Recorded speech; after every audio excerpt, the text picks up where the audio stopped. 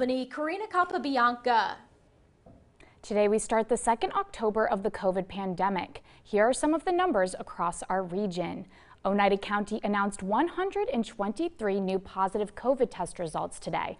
There are currently 151 active positive cases in the county. There are 2,050 Oneida County residents in mandatory isolation or quarantine. 42 Oneida County residents are hospitalized with COVID. 13 of them are in the ICU. There was one COVID-related death in Oneida County.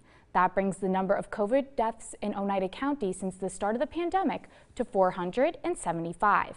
In Herkimer County, 39 new positive test results were reported. There was also one new COVID-related death. In Otsego County, 25 new COVID test results came in. Oneida County will be offering more Pfizer vaccine booster pods to accommodate the demand of eligible residents. The county-operated vaccine pods will now be available Thursdays at the drive-through site at Griffiss International Airport and Fridays at Mohawk Valley Community College's Jorgensen Center in Utica. Appointments for next week and beyond are available at ocgov.net.